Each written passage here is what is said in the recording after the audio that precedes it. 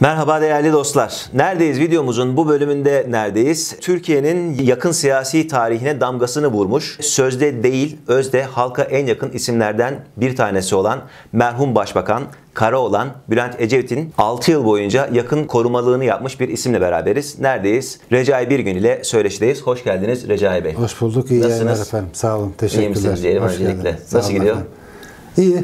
Gayet iyi. Yolunda her şey sağlığınız iyi. Evet, şükür. Bu kadar sağlığın riskli olduğu bir dönemde Evet. gayet iyi gidiyoruz şimdi. Çok güzel. Şimdi biraz merhum Başbakan Bülent Ecevit'ten bahsedeceğiz. Sizin de kendisiyle 6 yıllık bir süreciniz var. Evet. 2000 yılından 2006 yılına kadar rahmetli olana kadar onunla beraberdiniz. Belki de ona ailesinden daha yakındınız. Belki de herkesten daha fazla onunla vakit geçirdiniz. Ondan dolayı size sormak istiyorum. Bülent Ecevit ilk önce nasıl bir insandı? Nasıl bir eşti? Ee, onu sizden öğrenmek isteriz. İnsani tarafını öğrenmek isteriz. Siyasi tarafını zaten herkes biliyor aşağı yukarı. Evet. e, aslında diğer insani tarafını da e, bence herkes biliyor. Çünkü Sayın Ecevit gerçekten samimi bir şekilde insan sevgisi olan bir insandı. Yani karşıdaki kim olursa olsun, rütbesi, makamı, mevkisi ne olursa olsun herkese eşit derece saygı duyardı. Mesela bütün görev süresince ben ve benim personelim dahil herkese bey diye hitap etmiştir. İşte Recai Bey, Hasan Bey, Mehmet Bey diye hitap etmiştir. Bununla ilgili çok bir şey anlatmak istiyorum eğer vaktimiz varsa. Tabii tabii vaktimiz var. Ee, bir gün bir, bir yere programa gideceğiz. Bizde usuldür. Ee, korunan kişinin oturacağı koltuk önceden emniyet alınır ve başında korunan kişi o koltuğa oturana kadar da korumacı o koltuğun başında bekler. Rahmetli Ecevit de gittiği yerde herkese tokalaşır. Bunda ne yazık ki gazeteci arkadaşlar hep yanlış yorumlarlardı. Herhalde tanımadı, bilemedi falan diye. Bu da e, haliyle yakın koruması olunca beni çok rahatsız ederdi. Yine böyle bir gün programa gittik. İşte herkes de merhabalaştı, tokalaştı. Ee, tam biz işte oturacağı makam koltuğunu gösterdik. Programa katılacağı koltuğu. Korumacı arkadaşım da onun gelmesini ve oturmasını bekliyordu. Elini bizim korumacı arkadaşa da uzattı selam vermek için. Ben hemen elini kimseye çaktırmadan Sayın Ecevit'in tuttum. Korumacıya da uzaklaş buradan dedim. Tabii Sayın Ecevit ne olduğunu anlayamadı gibi geldi. Bana oturduk. Sonra program bitti. Eve bıraktım. Eve işte bir ihtiyaç var mı diye sorduktan sonra ayrılırken Recai Bey de orada bir şey oldu ama anlayamadım. Ne oldu dedi. Dedim efendim sizin elini sıkmaya çalışırsa bizim korumacı arkadaşımızda. Yanlışta sıkıyorsunuz diye ben e, engel olmak istedim dedim. Ne için duruyor arkadaş orada dedi. İşte efendim sizin koltuğunuzu koruyor, güvenlik falan. Dedi ben dedi gittiğim bir yerde benim için orada duran, benim güvenliğim için orada duran birinin elini sıkmayacağım da kimin elini sıkacağım Recai Bey dedi. Bir daha lütfen bu konuda müdahale olmayın dedi. E, Ben e, koruma hizmetine başladığımda ilk dersim buydu. E, Gerçekten Sayın Ecevit herkese karşı çok nazik, çok kibar, çok anlayışlı. Dediğim gibi insan sevgisi olan bir insan. Zaten insan sevgisini gerçekte özde yaşayan bir insan da tavırları Sayın Ecevit gibi olurdu. Başkası farklısı beklenemezdi. Evet. Peki bir de merhume Rahşan Hanım'dan bahsetmek isterim. Onu da sizden dinlemek isteriz. Onun özelinde evin içine girdiğinde nasıl bir Rahşan Hanım vardı ve Bülent Bey ile evin içindeki ilişkileri nasıldı? Evet aslında bu soruyu sormanız bence çok isabetli oldu. Çünkü Sayın Rahşan Ecevit ile Sayın Bülent Ecevit'e bakanlar dışarıdan hep şöyle söyler. Bir elmanın iki yarısı. Ben aslında onu biraz değiştiriyorum.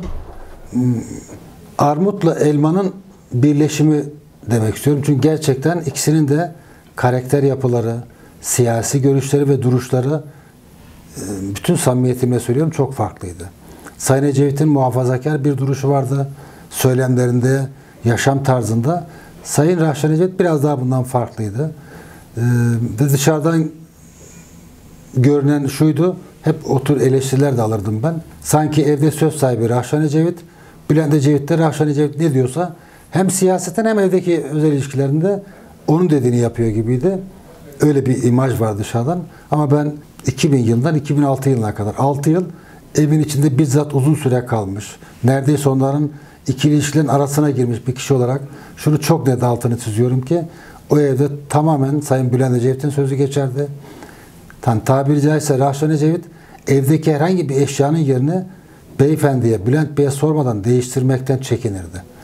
Dominant olan Bülent Bey'di o zaman. Kesinlikle öyleydi. Hatta Sayın Bülent Ecevit'i kaybettiğimizde Sayın Rahşan Ecevit'le biz e, Eymir Gölü'ne yürüyüşe gittik bir gün.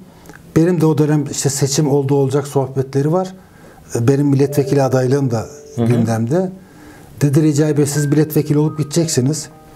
E, Bülent'i de kaybettim ben. Ben dedi ne yapacağımı, nasıl yapacağımı, kimle konuşacağım, kime danışacağım dedi.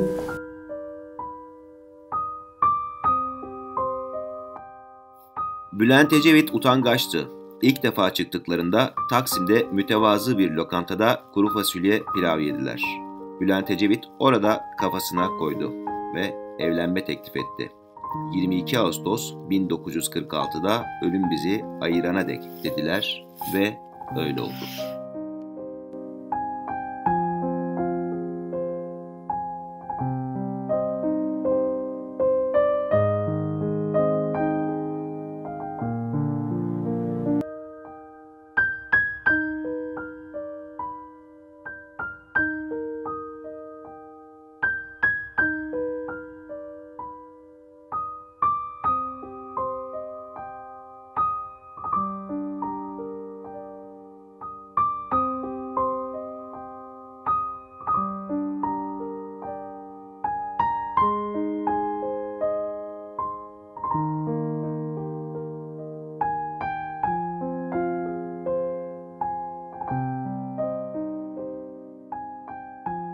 Ki yani ben zaten biliyorum dediğim gibi yani Rahşan Ecevit Bülent Ecevit'e sormadan hiçbir adım atmazdı. Tartıştıkları şeyler olurdu e, siyasi anlamda tabii kesinlikle ama e, yine son sözü Bülent Bey söyledi. Bülent Bey söyledi. Peki Rahşan Hanım'ın günlük hayatında evdeki pozisyonu nasıldı? Neler yapardı? Bizim klasik Türk kadınları gibi yemekleri ya da servisi falan yapar mıydı? Akşam yemekleri nasıl geçerdi? e, normal ortalama bir Türk ev hanımı ne yapıyorsa Rahşan Ecevit evde hepsini yapardı. Ütüyü kendi yapardı. Yemeği kendi yapardı. Bulaşıkları kendi yıkardı. Bizim mesela evimizde bulaşık makinesi yoktu. Öyle mi? Evet, bulaşık makinesi yoktu. Evin temizliği de dahil hepsini kendisi yapardı. Ancak belli bir dönem sonra artık başbakandan ayrıldıktan sonra işte Rahşan Ecevit rahatsızlandı, Bülent Ecevit rahatsızlandı. Artık biraz fiziksel olarak yorulmalarını istemediğimden yine kendileri çok ısrar ettiler ama biraz da artık benim de böyle bir onlara bazı şeyleri kabul ettirme gücü elde ettikten sonra baskıyla eve bir yardımcı almaya başladık. O yardımcı sabah geliyordu. Evin genel temizliğini yapıyordu. Bulaşıkları yıkıyordu. Yemeği yine Rahşan Hanım yapardı. Dışarıdan çok nadir yemek yerdik. Yani normal bir Anadolu hanımı ne Evet. yapıyorsa ev hanımı hepsini Rahşan Hanım bizzat kendisi üstlenirdi. Büyük bir aşk hikayesi var aslında. Gençlik yıllarından beri beraberler ve belki de hani kendileri birbirlerinin ilk ve son aşkları.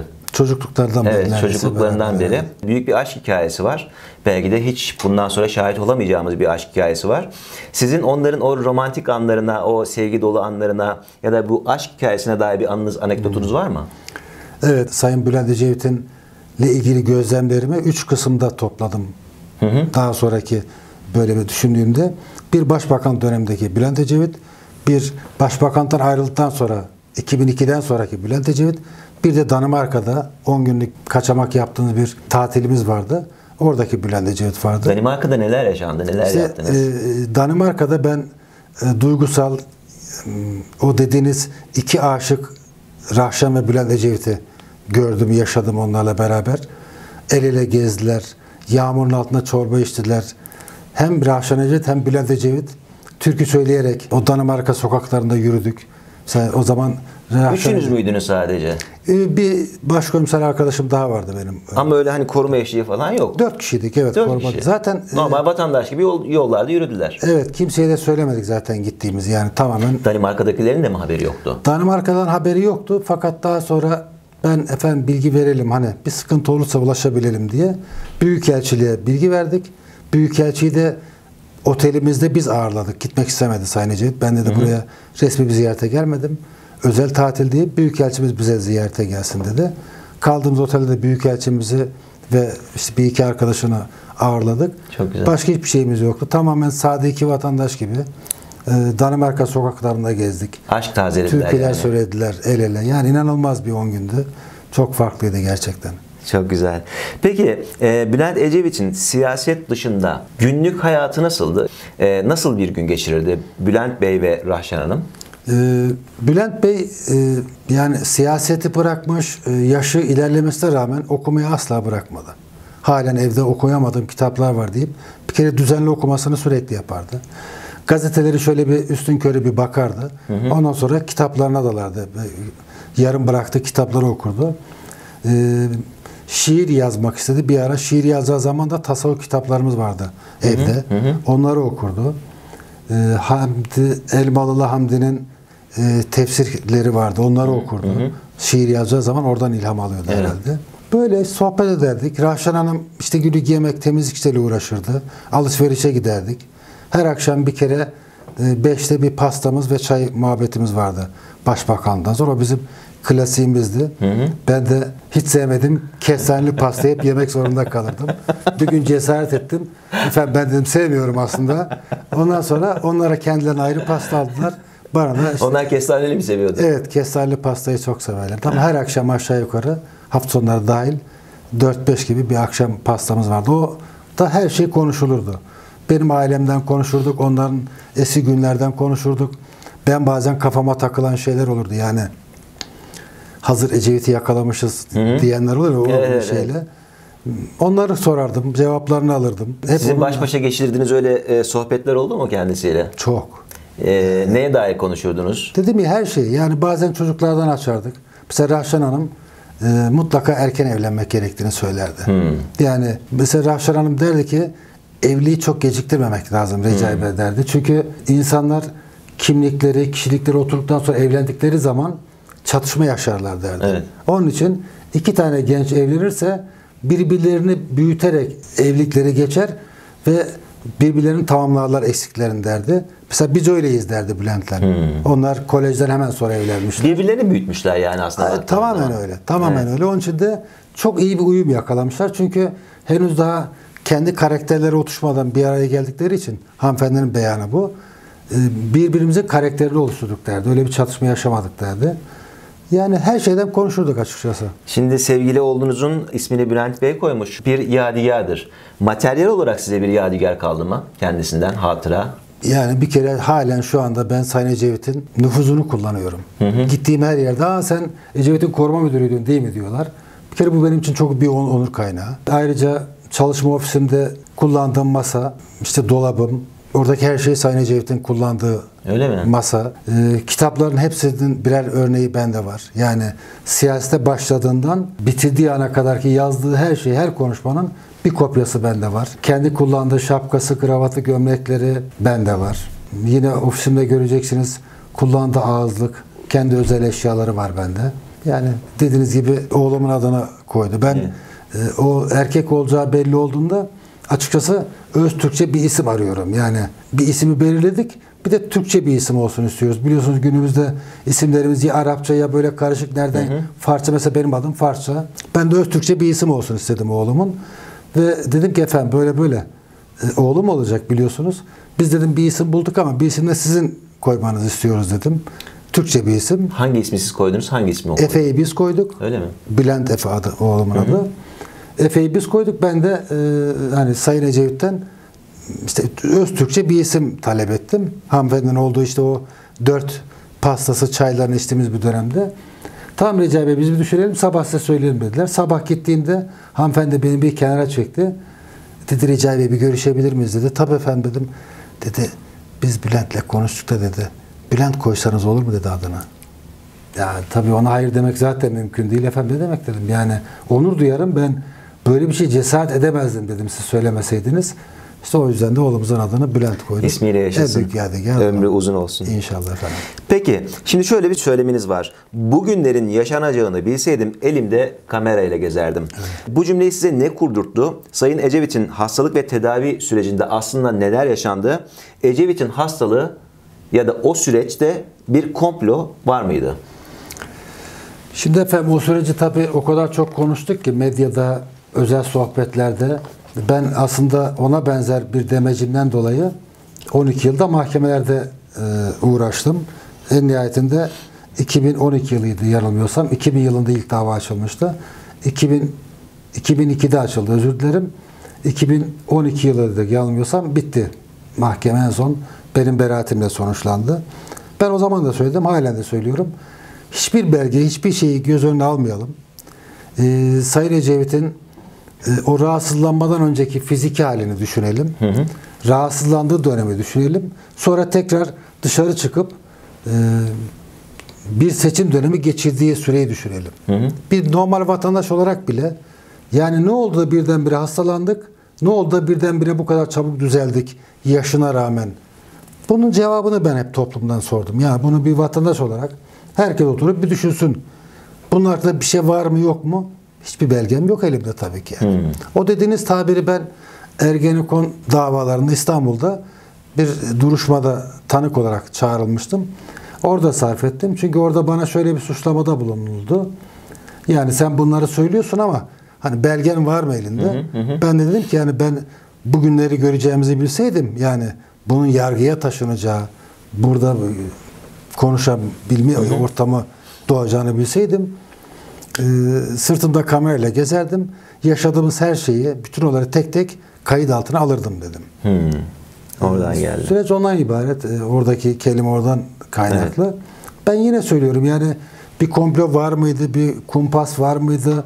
Bunu ben söylemiyorum. Sadece diyorum ki Sayın Ecevit e, ki yaşına göre sağlıklı bir hayat sürüyordu. Birdenbire hastalandı. Yataklara düştü. E, Medya öldü diye haberler çıkardı. İnanın ben o dönemde o dönemden hemen önce daha rahatsızlamadan önceki Orada dönemde, bir yanlış tedavi o zaman belki bilinçli belki bilinçsiz bilemiyorum. ee, onu ben diyemiyorum çünkü doktor evet. değilim ama yaşadıklarım var. Dediğim gibi yani yaşanan bir süreç var. O- Çünkü orada bir parantez açmak istiyorum. Merhum Mücahit Pehlivan Doktor Bey. Ona bir, siz galiba müracaat ediyorsunuz Evet. ve o olaya dahil olduktan sonra bir iyileşme süreci başlıyor. kesinlikle evet. O dönemde neler oldu? Dahil oldu ve o sonrasında neler yaşadınız? Ne oldu? Şöyle biz o zamanki daha önceki doktorlarımız e, kesinlikle kıpırdamamamız gerektiğini, kıpırdarsak o çökmenin sinirlere baskı yapacağını, bu da felç olmaya hatta ölüme kadar bizi götürebileceği yönünde telkinler vardı. Ve her sabah da bizi kontrole geliyorlardı açıkçası. Fakat Sayın Ecevit de çok naz- nazik biriydi. Sırf doktorlara karşı ayıp olmasın diye Doktorlar gelmeden önce Recai bir haberim olsun yatağa gireyim derdi. Beni yatakta görsünler. Doktorlar gittikten sonra da normal mutfağa giderdik. Bizim salonumuz basamaklıydı. Yürür basamaktan salona inerdiniz. Salona giderdik çayımızı kahvemizi içerdik. Yani evde normal hayatımızı sürdürürdük. Ama doktorlar ayıp olmasın diye doktor hep bizi yatakta karşıladılar. Kesinlikle kıpırdamayacaksınız diye. Ve biz birkaç tane toplantıdan katılmak için doktorlardan izin istedik. E, Birisi Milli ve Güvenlik Kurulu'ydu. Birisi Bakanlar Kurulu'ydu. Birisi de e, Cumhurbaşkanı'nın yapacağı bir Kıbrıs toplantısı vardı.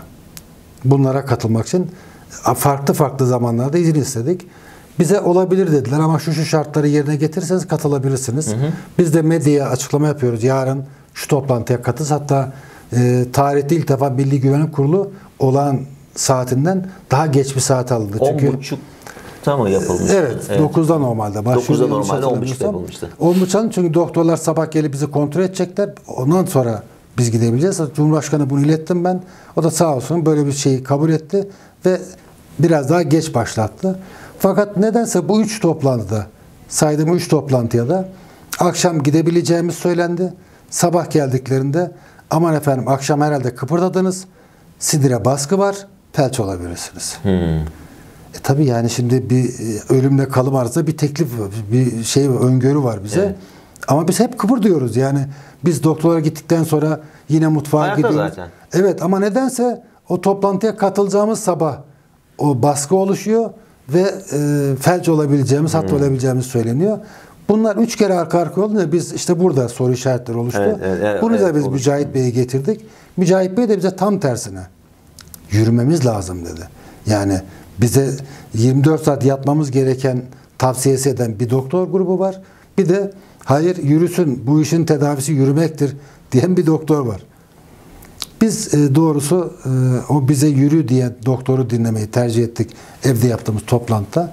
E, sonra da biz bir seçim dönemi geçirdik biliyorsunuz. Yani ondan sonra da biz 2002 seçimlerine katıldık Evet, ve yaşına rağmen de Sayın Ecevit Van'a kadar gitti. Ben de katıldım oradaki mitinge. İstanbul'da yaptı. Bir, yani birçok ilde de seçim mitinglerine katıldık. Ve Allah'a şükür işte bir şey olmadı. Evet. O dönem bir de Rahşan Ecevit'in, Hüsamettin Özkan'ın Ecevit'in hastalığını abartarak e, yaydığını ve başbakan olmak için askerle anlaşmak istediğini iddia etti. Bu doğru mudur? Rahşan Hanım'ın lafı mıdır bu? Bununla ilgili bilginiz var mı? Şöyle o sanmıyorum Rahşan Hanım'ın lafı değil de ama tabii Rahşan Ecevit ile Hüseyin, e, Hüsamettin Bey arasında zaten ben geldiğimde de var olan bir husumet vardı. Yani asla görüşmezlerdi. Ee, Rahşan'ın olduğu yere Hüsamettin Bey gelmezdi. Böyle bir sıkıntı vardı zaten. Ben de o hassasiyetlere zaten dikkat ederek görevimi sürdürmeye çalıştım. Ee, benim şahsi kanaatim, gözlemlerim e, o zaman zaten az önce de söyledim. Yani bütün medya yani muhafazakarı, solcusu bilmem bütün medya Sayın Ecevit'in iktidardan gitmesi için ne yapılması gerekiyorsa hepsini yaptı açıkçası. Olan olayı abartmaktan tutun da öldüğü haberlerine kadar. Ee, işte en basiti bir konuşma yapardık bir yerde. Ya işte bir dil sürçmesi oluyordu bir şekilde. Onun sebeplerini de biliyoruz ne olduğunu sonradan anlaşıldı ama kullandığımız ilaçlardan kaynaklı oldu. Akşam bakıyorsunuz haberler sürekli bunu şey yapıyor. İşte Ecevit gene şaşırdı, gene karıştırdı falan. İşte bugün bile görüyorsunuz Sayın Cumhurbaşkanı konuşma yaparken dil sürçüyor o yoğunluktan.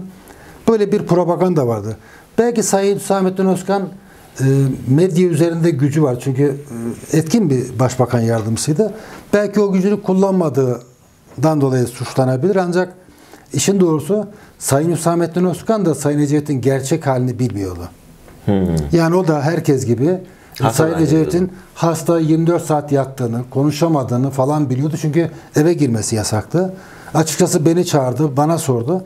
Ben de ona her şey yolunda efendim biz gidiyoruz, yemeğimizi yiyoruz, salondayız bir sıkıntı yok.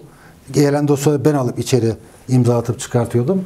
Ama e, açıkçası gelen doktorlar da hep Ecevit'i yatakta görüyorlardı. E Şimdi benim söylediğimle doktorların belki Sayın Hüsamettin Özkan'a verdiği bilgi çelişince belki doktorları inanmayı tercih etti. Evet. Benim Ecevit'lere duygusal bağ kurmuş olabileceğimi değerlendirdi. Bilemiyorum ama ben açıkçası geriye dönüp baktığımda e, belli kesimlerin Sayın Hüsamettin Özkan'ı suçladığı gibi bir suç olduğunu düşünmüyorum. Anladım. Ee, peki bir de e, başbakanlığı döneminde başbakanlıktan çıkıp Cumhurbaşkanlığına gideceği arada bir suikast ihbarı olduğunu okudum ben ama doğruluk payı var mı? Aslında öyle bir duyum yani çok zayıf bir duyumdu. O da Türkiye'de çok ilginç bir uygulama var. Şu anda ne durumda bilemiyorum. Başbakan başbakanlıktan ayrılıyor. Bir basın ordusu 24 saat peşinde. Yani başbakan nereye gidiyorsa onlar da peşinde gidiyor. Tabi bunlar haberleşiyorlar. Haberleşince e, eğer başbakana bir suikast söz konusuysa zaten o telsizleri, habercileri takip edenler başbakanın nerede ne zaman olacağını gayet iyi biliyorlar. Bazen gizli program yapmanız gerekiyor yapamıyorsunuz çünkü 24 saat dışı beş, arkanızda basın var. Evin önüne gidiyoruz, eve istirahate çekiliyoruz. Basın halen bekliyor. Ya gitsin niye bekliyorsunuz? E, talimat böyle. Yine böyle bir gündü. Ben o gün e, bir şey denemek istedim açıkçası ve iki ikiz ekip çıkardım. Ve başbakanlıktan çıktığımızda e, ikamete gittik. İkametten çıkarken birbirinin aynısı iki ekip oluşturdum. Araçlarıyla, makam araçlarıyla ve Sayın Başbakan'ı Ankara'da kaybettim. Yani basın takip ediyor ama kimi takip ettiğinin farkında değil. Hep boş araçları takip etti. O e, medyaya yansıyan öyle bir haberdi. O gün akşama kadar biz Cumhurbaşkanlığına gitmek de dahil basını aldattık biraz, atlattık. Ne yaptınız? Ee, basını sahte ekibin peşine taktım. Yani sanki e, dolu araçmış gibi. Evet. Boş ekip ba- basın onları takip etti. Ben oradan çıktım geldim başbakanlığa. Oradan gitti bir yemeğimi yedim. Yemekten sonra tekrar eve geldim. Ben derken tabii makamı kastediyorum. Oradan da Cumhurbaşkanlığına gittik. Fakat orada bir şey oldu. Ee, e, gazeteci arkadaşlar eve geldi dedi ki Recai Bey biz dedi uyandık. Sen dedi bizi kandırıyorsun ama dedi biz dedi çözdük işi. Sen dedi Cumhurbaşkanı tek bırakmazsın. Sen hangi araçtaysan biz anlayacağız ki o araç da başbakan dolu. Onu takip edeceğiz. Evet. Aa dedim bravo çok akılsınız dedim. İçeri gittim. e, yardımcıma talimat verdim. Dedim ki başbakanı sen götüreceksin. Abi ben nasıl götüreceğim dedi ben yapamam. Dedim e, Cumhurbaşkanı sen götüreceksin. Ben boş ekiple çıkacağım buradan. Tabii ben çıkınca o dediler tamam Ters başbakan köşe. bu araçta ve bütün basın benim peşimden. Ben Çok onlara bir. Ankara turu yaptırdım. E, Cumhurbaşkanlığına girdim. Tabii girişte de Cumhurbaşkanlığına girince makam geldi diyorlar. Ona göre genel sekreter aşağı iniyor. Ben indim genel sekreter kapıda. Ben kapıyı çarptım. Araba hareket etti. Recai Bey dedi başbakan nerede dedi. Efendim biraz sonra gelecek dedim. Sırf o yüzden de bayağı bir o zaman Cumhurbaşkanlığı koruma ekibi çok fırça yedi. Ee, makamı görmeden niye makam geldiği bildiriyorsunuz. Ee, Biraz da bana da serzenişte bulundu. evet. Yani senin yüzünden fırça yedik Önceden ama- bilgi verseydiniz belki. Evet ama Doğru. bilgi versek o zaman bir işin özelliği kalmıyor evet, çünkü evet. e, bunu da denememiz gerekiyordu. E, dediğim gibi yani Cumhurbaşkanımız e, Sayın Bülent Ecevit'in hem dönemsel olarak da hem de kendi naifliğinden dolayı böyle bir suikast ihbarı ciddi anlamda çalmadık. O bizim kendimizin yaptığı bir denemeydi. anladım. Başarılı da oldu. Demek ki dedik biz istediğimiz zaman başbakanı kaybedebiliyoruz Türkiye'de. E, peki merhum Bülent Ecevit'in o dönemin liderleriyle ilişkisi nasıldı? Sizin şahit olduğunuz güzel bir anekdot var mı? Anınız var mı? Açıkçası mesela Bahçeli ile olan Sayın Devlet Bahçeli olan ilişkileri çok dikkat çekiciydi. Biz mesela e, Milli Güven Kurulu toplantısında sigara içerdik. Hmm, Onlar toplantı yaparken. Sonra ara verirlerdi. Biz ben sigara içmeye devam ederdim. Sayın Bahçeli de yakardı sigara. Sayın Ecevit geldiğinde ben sigaramı söndürmezdim. Sayın Bahçeli söndürürdü hemen sigarasını Oo. önünü de kapatırdı. Ee, ve ben 2002 yılında İstanbul'dan aday adayıydım. MHP'li arkadaşların en çok eleştirdiği tavrı buydu. Sayın Bahçeli'ye çok kızıyorlardı. Ecevit'in karşısında önlüklerinden. Ben hep şunu söyledim. Sayın Ecevit de aynı şekilde Sayın Bahçeli'ye karşı çok saygılıydı. İkisinin arasında çok seviyeli, çok e, iyi bir diyalog vardı. Koalisyon hükümetinin olmasından öte yani birisi 12 Eylül öncesinin başka bir temsilcisi, birisi başka bir temsil olmasına rağmen bu iki farklı siyasi görüşün bir araya gelip bu kadar karşılıklı anlayışlı tavırları bunu zaten siyasete yansıtmışlardı biliyorsunuz. Evet. O benim hep dikkatimi çekmiştir açıkçası. O dönemin siyasetçileri biraz daha bugün de konuştuk çekim öncesi biraz daha böyle adamların derdi şuydu. E, benim fikrim budur. Bu fikirle Türkiye daha iyi yönetilebilir. Evet. Fikir mücadelesi, fikir kavgasıydı. E, ama onun dışında birbirlerine oldukça nezaketli, oldukça saygılı e, ve bir araya gelip konuşabilen insanlardan oluşuyordu. O açıdan mesela ben o dönemi kendi adıma çok özlüyorum. Keşke bugün de aynısı olsa, olabilse. Ama yani çok da mümkün görünmüyor gibi bu yaşadığımız süreçte. Peki şimdi Bülent Ecevit Kıbrıs Fatihi.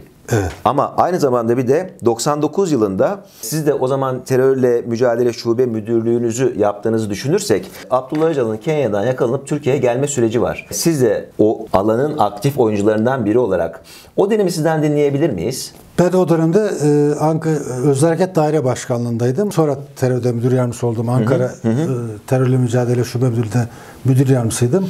İlk APO'nun yakalanıp Türkiye'ye getirilmesinde Özel Hareket Daire Başkanlığı'nda görev sırasındaydım. Hatta İmralı'ya yerleştirildiğinde ilk korumalarını yapan Özel Hareket Daire Başkanı'dır.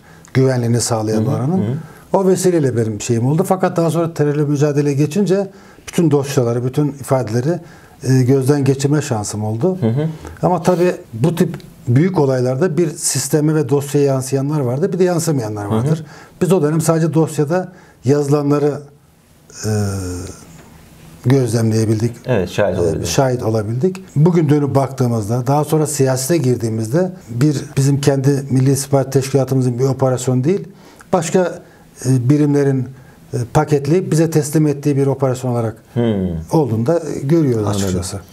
Ama şey biliyorum ne kadar doğru bilmiyorum ama bu operasyondan Bülent Ecevit'in Rahşan Hanım'a bile söylemediği gibi bir bilgisi Evet. var. Çünkü bu çok gizli bir operasyon. Rahşan Hanım bile bilmiyormuş bu operasyon. O doğruluk payı var mıdır? E, Kesinlikle var. İşte bu e, dediğim 4-5 çaylarında işte bunlar da bazen konular olurdu. İşte yine söylediğim gibi dışarıdan her ne kadar Rahşan Hanım evin patronu, siyasetin patronu, partinin sahibi gibi görünse de işte gizli bir Bülent Ecevit vardı. E, Tam da bu konu da evde geçmişti ve Bülent Ecevit gerçekten de parti işlerini, e, hükümet işlerini hep ayrı tutmuştu.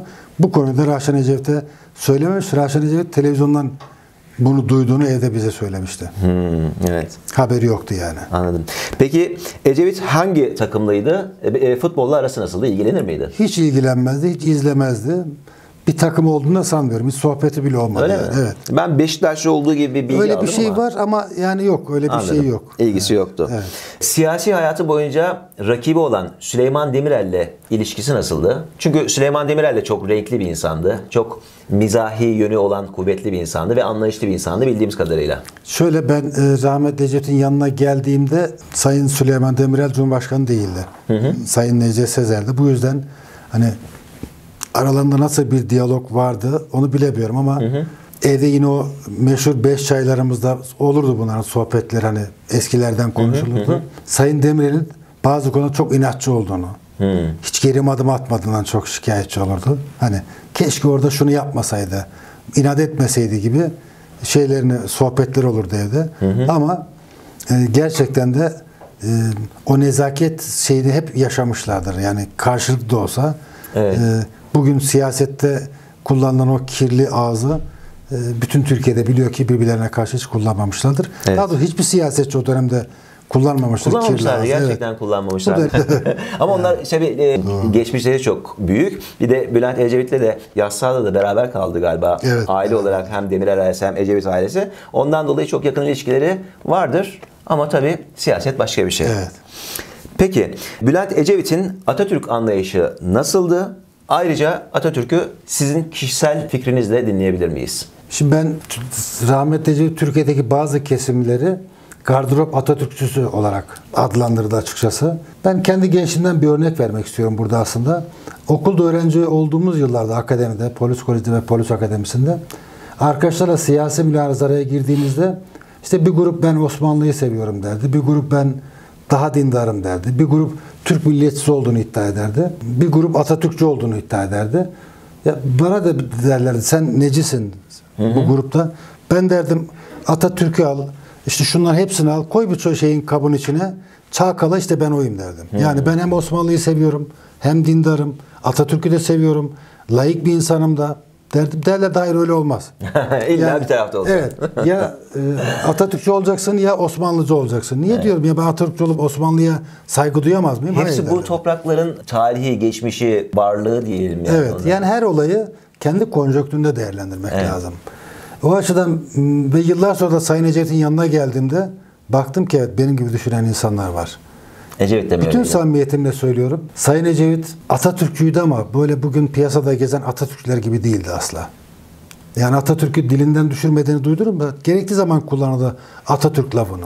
Ona ben de çok karşıyım ama e, bugün ne yazık ki Atatürk siyasi söylemlerde bence hani dini kullanan e, bir siyasi anlayış varsa bir tarafta da gerçekten Atatürk'ü kullanan bir siyasi anlayış Evet. var. Bence bu Atatürkçülük artık Türkiye'de son dönemde oy kaygısıyla kullanılan bir söylem haline geldi. O açıdan gerçekten Atatürk öyle her şeye çok kullanılmamalı. Çünkü onun bize çizmiş olduğu bir yol haritası var zaten. E, zamanında işte gençliğe hitabesiyle, nutkuyla bize bir yol haritası çizmiş. Bu yoldan gittiğimiz sürece sorun olmaz ama bunu bir oy kaygısıyla kullanabilmek bunu biraz işi sulandırıyor gibi geliyor bana Yani da. sulandırdığı gibi de bu e, toplumun genel değerlerinin içinde çok öne çıkan bu değerlerimizi de yozlaştırıyor Evet. ve belki de değersizleştirmeye doğru Evet, gidiyor. Çünkü evet, evet. sizi siyaseten yıpratmak isteyen kişi Atatürk üzerinden sizi yıpratmaya çalışıyor. Evet.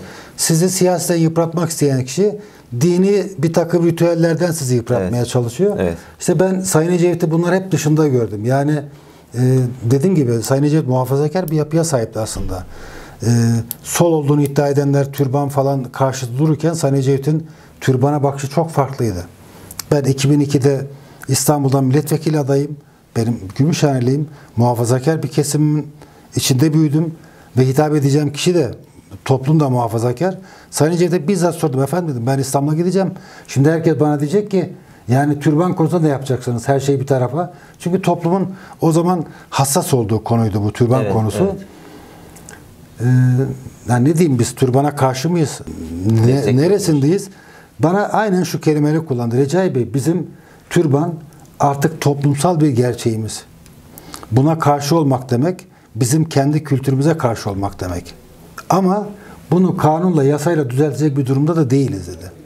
Bu toplumun zamanla kendi kendini aşacağı bir konudur. Bunu kanunla yasaklamak da yanlış.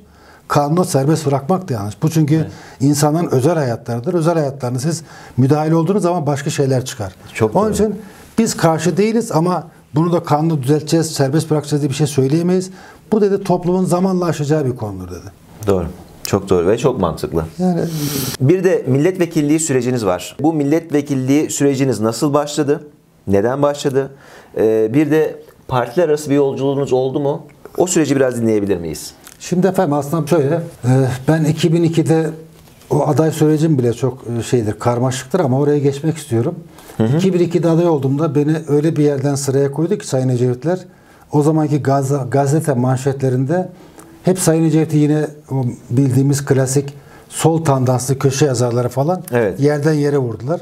Çünkü İstanbul gibi yerde benim sıram dördüncü veya beşinciydi yanılmıyorsam. Bu yüzde on barajını aştığınız anda milletvekili olacaksınız demektir. İstanbul üçüncü bölgede. Ve benden sonra iki tane milletvekili vardı ve bir tane de bakanlık yapmış bir abimiz vardı. Bu hem parti içinde hem de işte o sol dediğimiz kesimde çok infial yarattı. Yani siz bir koruma müdürü bu alt üstü nasıl böyle bir sıraya yazarsınız diye çok eleştirildi Sayın Ecevit. Ben de tabii böyle bir şeyden gurur duydum. Sonra fark ediyorum bu sıramın ne kadar önemli olduğunu. Çünkü çok değişik bir ortamlardan geçtik. Tabii bildiğiniz gibi 2002'de Orada parantez açabilir miyim? Bülent Ecevit o potansiyeli sizde görmeseydi hatır için milletvekili yapar mıydı? Bülent Ecevit'i tanıyanlar yapmayacağını bilirler. Yani. Açık söyleyeyim bu konuda hiç Evet. alçak gönüllü olmaya Evet, niyetim evet. yok ama ben evde bu eleştiriler gelince tabii ben de rahatsız oldum. Çünkü benim saygı duyduğum birisi bana sahip çıkmak için bu bu kadar külfetin altında kaldı. Dedim efendim keşke beni dörde beşe yazmasaydınız. Biraz daha aşağılara yazsaydınız. Çünkü dedim bak bir sürü herkes yükleniyor size. Yani bir koruma müdürü niye yazdınız? Benim dedim param yok. E, arkamda oy potansiyelim yok yani. Muhafazakar bir çevreden geliyorum. Yani niye e, bunu yaptınız dedim. Ha bir de dedim ben özgür harekatçıyım efendim dedim yani. Özgür harekatçıların şeyi de bellidir Türkiye genelinde. Yani dedim keşke böyle yapmasaydınız bu sıkıntıları yaşamazdınız dedim. Dedi Recai Bey biz sizin ailenize yok siyasi oyunuza paranıza pulunuza koymadık. Biz sizi bizim yanımıza kaldığınız süre içerisinde bize gösterdiğiniz kimliğinizden dolayı oraya koydum siz dedi. Bundan bahsediyorum. Yani sizin siyasi görüşünüz beni ilgilendirmiyor. Dedi ki bütün samimiyetimle söylüyorum. Ben 2002'ye kadar da ve sonrasında da dedi, Sayın Ecevit'le sağ sol üzerine hiç konuşmamışızdır. Sayın Ecevit benim gö- siyasi görüşümü de bilmez yani. Çünkü onun üzerine konuşmadık. Hep böyle geneldi sohbetlerimiz. Tabii sonra 2002'de parti baraj altında kaldı. Yine böyle 4-5 çaylarından birisinde evde sohbet ediyoruz. Sayın Ecevit de Demokrat Sol Parti Genel Başkanı ayrıldığından bir gün sonra. Şimdi tam tarihi hatırlamıyorum ama notlarımda vardır. Evde sohbet ediyoruz. Tabii Sayın Ecevit e, parti genel başkanı ayrılınca artık benim orada kalamayacağıma de, Rahşan Hanım daha doğrusu değerlendirdi herhalde. E, Recai Bey dedi, biz partiyi de bıraktık. Siz ne yapacaksınız şimdi dedi. Orada sanıyorum Sayın Ecevit konuyu tam şey yapmadı. Ne demek ne yapacak Recai dedi. Recai Bey dedi, Rahşan dedi. Tabii ki milletvekili olacak dedi. Yani hiç ortada öyle bir sohbet de yoktu ama Rahşan Hanım bu sorusuna Bülent Bey'in fikriydi o zaman. Evet. Adaylık. ilk adaylık benim kendi fikrimdi. Ha. 2002'de böyle e, Evet. çok ilginçtir o da böyle geldim pat diye söyledim E, ve çok memnun oldular bundan. E, Daha işte 2004'teyiz biz bu konuştuğumuzda. Fakat sonra tabii Sayın Ecevit 2006'da vefat edince ömrü yetmedi benim milletvekili adaylığımı görmeye. Daha sonra 2007'de erken e, seçim oldu biliyorsunuz. E, Olunca artık ben e, 2002'de de aday aday olduğum için 2007'deki listede artık potansiyel bir adaydım. Yani benim üzerimde tam bir hemfikirlik vardı. Parti Genel Başkanı, Rahşan Hanım, partililer. Yani sanki ben zaten milletvekili olmam gerekiyordu ama o dönem olmadı. Bu dönem olacağım gibiydi. Hatırlarsanız DSP ile CHP bir anlaşma yaptı ve CHP'den biz e, listelerinden partiye geçtik. Ee, o zaman CHP bize dedi ki 12 kişi verin onları listelerimize koyacağız. 12'den biri kesin bendim. Diğer 11 hiç belli değildi. Hatta bana soruyorlardı yani ya Recai Bey sen biliyorsundur listede kimler var? Diyordum ki biri benim ama diğer 11'ini bilmiyorum. Ha, evet. Benim e, 2007'deki adaylığım da böyle oldu. E, CHP'den listelerinden ben e, girdim seçimlere. Ama o parti değiştirme olmadı. Fakat bir sene sonra Rahşan Hanım'ın kendi partisiyle arası açılınca parti genel başkanıyla bir takım sebeplerden dolayı ben de partimi Rahşan Hanım'ın diye tercih yapmak zorunda kaldım. Tercihimi Rahşan Hanım'ın lehine kıldı. Yani yanında olmaktan seçtim ve Demokrat Sol Parti'den 2008 yılında istifa ettim. Ondan sonra da zaten 2011'e kadar da bağımsız olarak milletvekilliğimi sürdürdüm. Bülent Ecevit'in e, yıllarca solu birleştirmek için uğraştı fakat bunu başaramadığını biliyoruz. CHP'de bunda karşılık bulamadı gibi bir algı var. E, sonrasında Bülent Ecevit'in CHP'ye ve onun liderlerine bakış açısı nasıldı? Bu solu birleştirememek konusunda. Ee, Ben açıkçası e, Sayın Ecevit'in e, yanına gelmeden önce bir e, üniversiteli olarak, bir akademili olarak yani şunu diyordum. Niye acaba ac- ayrı bir parti kurdu CHP varken yani ikisi de solcu bunlar niye bir araya gelmiyorlar diye. Fakat Sayın Ecevit'in yanına gelip de Sayın Ecevit'i ve siyasi fikirlerini öğrendiğim zaman aslında CHP ile DSP'nin Demokrat Sol Parti'nin iki ayrı kardeş olduğunu gördüm. Tamamen farklı. Yani Cumhuriyet Halk Partisi'nin oturduğu taban, e, siyasi vizyonu farklı, Sayın Ecevit'in farklıydı. Ve Sayın Ecevit bu yüzden de hazır kurulu bir partinin başına geçmek için bilerek söylüyorum sohbetlerimizden de hiçbir çaba sarf etmemiştir.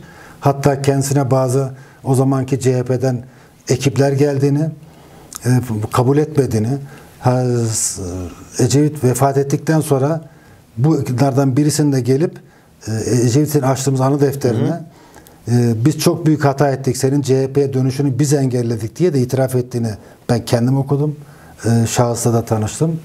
E, onun için Sayın Ecevit'in benim kanaatime göre solu birleştirmek gibi bir gayesi yoktu. Çünkü Sayın Ecevit'in kafasındaki demokratik solla Cumhuriyet Anladım. Halk Parti'nin temsil ettiği sosyal demokrasi arasında çok fark var. Anladım. Ben Sayın Ecevit'e sormuştum. Ne fark diye. En basit farkı dedi. Sosyal demokratlarda e, köylü sınıfı yoktur dedi. Sadece işçi sınıfı vardır. Çünkü Avrupa'da köylü sınıfı yok dedi. Ama demokratik solda hem işçi hem köylü sınıfı vardır dedi. Bizim en dedi bariz farkımız budur. Daha derinlemesine dedi e, konuşuruz vaktimiz olduğunda ki zaten sonra süreç içerisinde de işte en basiti e, işte Atatürkçülük dediğimiz duruşta bile Sayın Evet, Ecevit'in fark var. çok fark Evet, var. çok yani onun için var. öyle Doğru. bir şey hedeflediğini sanmıyorum. Dediğim gibi yani e, hazır kurulu bir partinin başına geçmeyi bile kabul etmemiş. Çünkü e, orada yaşadığı sıkıntıları biliyor. Onun için ayrı bir siyasi oluşum sıfırdan başlamış ve Türkiye'nin birinci partisi yapmış bir liderden bahsediyoruz. Evet. Şimdi bir de şöyle bir soru işaretimiz var. Ee, Sayın Bülent Ecevit'in Mekke'de bir arazi olduğu ve bu araziyi vakfettiği ile ilgili bir dönem var. Ee, bunun iç yüzün ve o süreci siz biliyor musunuz? Biliyorsanız anlatabilir misiniz? Efendim süreci aslında başlatan ve e, koordine eden, e, operasyonu yürüten kişiyim işin doğrusu. E, Sayın Ecevit'in dedesi Mekke emirliği yapmış zamanında. Bu yüzden de orada bir takım vakıfları ve hanları, hamamları neyse bu bir takım külliyelerin, e, kütüphanelerin olduğu bilgisi var. Ecevit'te bir takım evraklar, belgeler var. Sayın Ecevit'in bazı akrabaları ara sıra irtibat kurmaya ve Sayın Ecevit'ten yetki almaya çalışıyor. İşte buraları üzerlerine geçirebilmek için süren bir şey bir takım davalar var. Ben bir süreçte buna dahil oldum. Ee, yine bu meşhur 4-5 çayımızda ya ne yapacağız bunları Recai Bey sürekli dedim efendim e, yani konuyu ben tam bilmiyorum dedim. E, izah etti konuyu. Dedi ben bunları Diyanete vakfetmek istiyorum, bağışlamak istiyorum dedi. E, hacılar gidiyor geliyor. "Ha, Onlara kullansınlar bunları dedi. Bizim para ihtiyacımız yoktu. Ne yapacağız biz o kadar parayı? Esprisini de yaptık hatta farklı sohbetlerle. Bunun üzerine ben o zamanki Diyanet İşleri Başkanımıza irtibat kurdum. Gittim kendim bizzat görüştüm. Dedim efendim böyle böyle bir konu geçti evde. Biz bu evrakları size vermek istiyoruz. Bu konuyu takip etmenize yetki vermek istiyoruz. Ya bu Ecevit'in üzerinde olan ne varsa hak ettiği mülk, miras bunları Diyanet'e bağışlamak istiyor. E, Ben de araştırayım Recai Bey size döneyim. Sonra tekrar çağırdılar. E, Diyanet Vakfı'ndan bir yetkiyle görüştürdüler beni. Dediler ki bunu Diyanet İşleri Başkanı'na değil vakfa yaparsak bu daha hukuki olur, daha düzgün olur, hızlı yürür falan filan. Geldiler, e, vakıf başkanı geldi. O zaman yetkililer geldi. Evde bir toplantı yaptık. Sayın Ecevit bana ne düşüyorsa ben yapayım, imza ise imza, yetki ise yetki vereyim. Ben beni bu yükten kurtarın. Hem de bir işe yarasın dedi bu e, dedemin e, bu mal varlığı dedi. Sonra bir takım gitgeller oldu, yazışmalar oldu. E, irtibat koptu. Bir daha vakıf gelmedi. E, birkaç kere aradık, irtibat kuramadık o zamanki yetkililerle. Sonra da Sayın Ecevit'in rahatsızlığı devreye girdi. Öylece kaldı ama Yani bir sonuç sonuçlanmadı mı yani? bir sonuca varılamadı diye biliyorum. Evet. Peki bu hayatta bir kahramanınız var mı? Varsa kimdir? Ee, tabii kahramanlarımız da yaşımızın yaşımıza göre, yaşadığımız döneme göre de değişiyor açıkçası. Çocukluk kahramanım farklıydı benim. Gençlik kahramanım farklıydı. Ee, şimdi kahramanım benim çocuklarım ve ailem. Ama gençlik kahramanım, bunun bütün samimiyetime söylüyorum. Sayın Ecevit'ti. Çünkü ben 55 el- doğumluyum. Tam benim böyle yetişim çağlarda Ecevit'in e, yasaklardan kurtulmaya çalıştığı, e, 12 Eylül öncesi de biraz siyasi taraflarımız vardı. Ecevit'in Karaoğlan olarak tanındı. Kıbrıs Fatih tanındı. Biraz da belki dediğim gibi öğrencilikten kalma böyle sola meyilli bir yapım da vardı. Oradan benim gençliğimin kahramanı Sayın Ecevit'ti. E, ama çocukluklarımızın kahramanları farklıydı. Burada soru da yok ama şimdi aklıma geldiği için soruyorum. Bununla bitiriyorum. Evet. Ee, e, şöyle, Bülent Ecevit'in koruması oldunuz ve karşısına gittiniz göreve başladığınız gün. Merhaba işte ben Recai bir gün, ben Evet. Bülent Ecevit. O gün mesainiz nasıl geçti? O gün neler hissettiniz? İlk gününüz nasıl geçti? Sadece o gün değil. 2-3 gün benim hiç yani yoktum yani. Gerçekten bunu samimiyetle söylüyorum. Sadece fiziksel olarak geliyordum. Kapıyı açıyordu arkadaşlar. Arabaya biniyordu. Ben de biniyordum.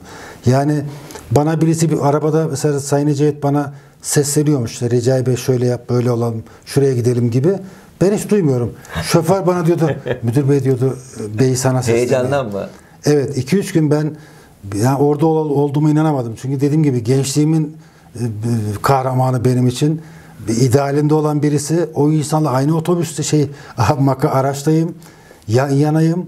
Ama dediğim gibi bir müddet sonra artık o kadar alışıyorsunuz ki yani hani e, işte Ecevit işte yani. E, Bizim Ecevit. e, Evet. Yani, Karaoğlan. Bir de Danıştay saldırısında hayatını kaybeden merhum Mustafa Yücel Özbilgi'nin cenaze günü sonrasında yaşananlar var. Evet. Orada sanırım e, sizin de sizi de üzen bir süreç gelişmiş. Oradan o günden bahsedebilir miyiz?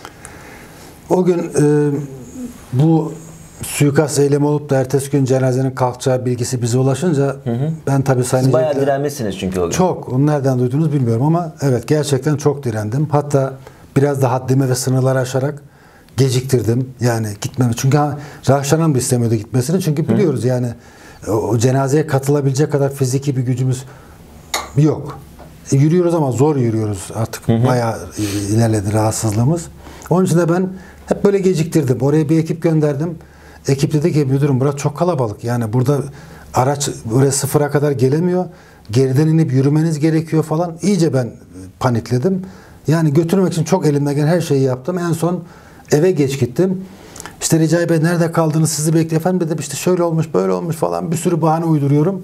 En son dedim ki efendim biz oraya yetişemeyiz dedim. Yani biz gidene kadar kalkar cenaze. Dedi Recai Bey yetişemesek de yolda olmuş oluruz. Gidelim dedi. Neyse bindik arabaya. Ben yine e, gitmem gereken yerlerden gitmiyorum. E, başka yerlerden yolu uzatıyorum. Hani e, şey gelecek, anons gelecek bana. Efendim cenaze kalktı. Ben de efendim cenaze kalkmış deyip geri eve döneceğim. En son rahmet dedi ki Recai Bey de bizi dolaştırmayın dedi. Anladım. Niye oradan gitmiyorsunuz şu yoldan? İşte efendim şey cenazeden dolayı kapanmış falan filan ama anlaşıldı ki gideceğiz. Yani başka çaresi yok. Gittik tabii cenazenin şeye kadar Kocatepe Camii'nin önüne kadar yanaşamadık. Geri indik. Ben Sayın Ecevit'in yanında 6 sene kaldım. 6 sene boyunca ilk defa Sayın Ecevit'in lehinde böyle bir tezahürat gördüm.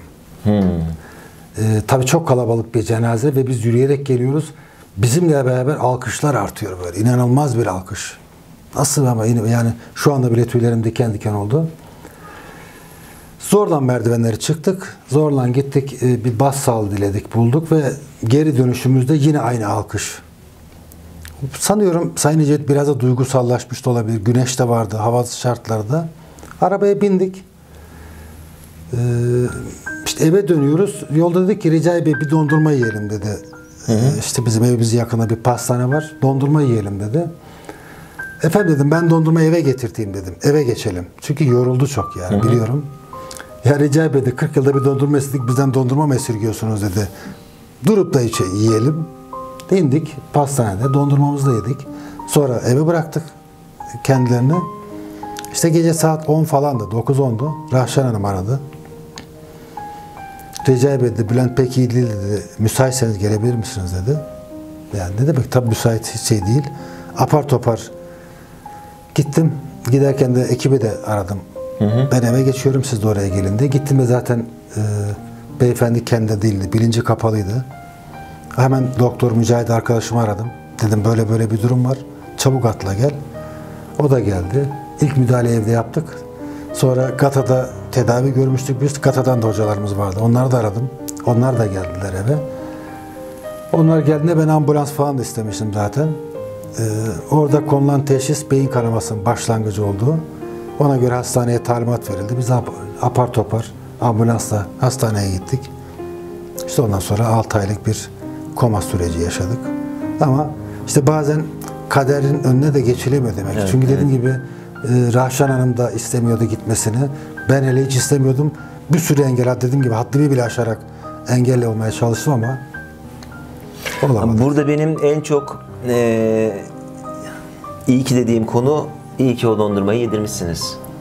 Ya Zaten eve götürecektim. Yani evde e, alıp en azından o evet. canının çektiği bir şeyi e, çünkü büyük Evet. ihtimalle dondurmadan kaynaklı değildir çünkü o yorgunluk ve güneşin e, altında Evet. olmasından kaynaklı olabilir ama iyi ki o dondurmayı yemiş Evet. diyelim o zaman.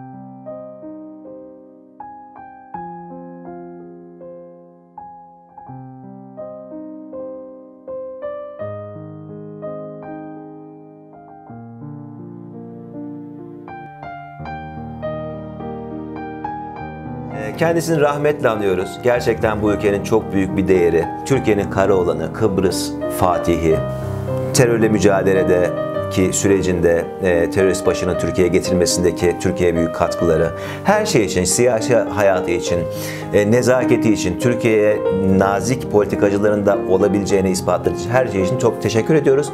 E, size de biraz da imreniyoruz. Böyle bir insanla 6 yılınızı geçirdiğiniz için. Soruları cevapladığınız için, nezaketiniz için, sabrınız için, e, samimiyetiniz için çok teşekkür ediyoruz. Ben de bu fırsatı verdiğiniz için ben teşekkür ediyorum. Ee, sohbetimizin başında da söylediğim gibi Türkiye'de gerçekten e, çok çabuk unutuyoruz birçok şeyi ve birçok değerleri de çabuk e, tüketiyoruz.